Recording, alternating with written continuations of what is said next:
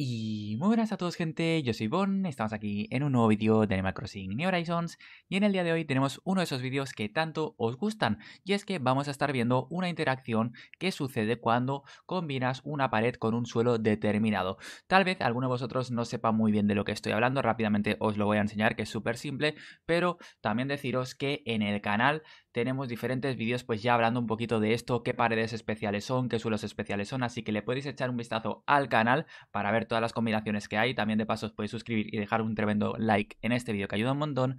Y vamos a comenzar con eh, lo que viene a ser la combinación del día de hoy. Como podéis estar viendo de fondo, está bastante claro, ¿no? Eh, cuál es la pared y cuál es el suelo que vamos a estar utilizando. Igualmente, pues rápidamente os digo el, nombre por si alguien lo, quiere hacer o lo quiere probar. Simplemente, pues tenemos que coger la pared y el suelo eh, calavera. De hecho, ahora lo vais a ver. Se llama pared calaveras y suelo calaveras. No tiene mucha, mucho misterio, realmente se podía saber sin, sin chequearlo, pero bueno, ahí tenéis el nombre eh, perfecto por si alguien lo quiere buscar eh, en el buscador o algún tipo de cositas. Así que vamos a ello. Como os he comentado, eh, esta combinación pues tiene algo bastante curioso. Y me diréis, pero bueno, ¿qué es eso curioso? Pues bien, vamos a apagar las luces de la habitación, como con la mayoría de paredes y suelos que tienen algún efecto, y efectivamente lo que va a pasar es que estamos totalmente a oscuras. De hecho, si nos ponemos en primera persona lo veremos incluso mejor, ¿vale? No vemos literalmente prácticamente nada. De hecho, las calaveras de la pared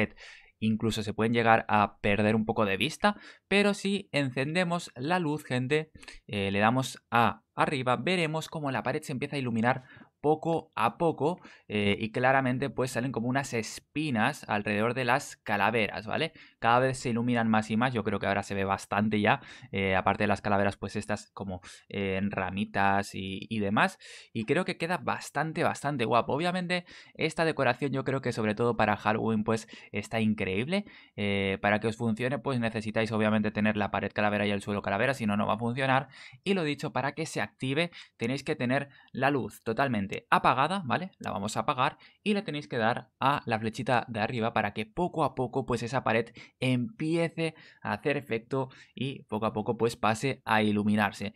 Lo dicho, gente, si os interesa este tipo de combinaciones especiales, hay varias dentro del juego. De hecho, ya tenéis, lo dicho por el canal, un par o tres vídeos hablando de diferentes combinaciones. Le podéis echar un vistazo, eh, que lo sepáis, que lo tenéis por el canal. Y la verdad que es algo bastante interesante y que depende pues la temática de vuestra isla o como queráis decorar, por supuesto, vuestras habitaciones, creo que puede quedar bastante, bastante guapo. Vídeo cortito el de hoy, pero bueno, es una pequeña curiosidad que yo creo que puede estar bastante bastante bien.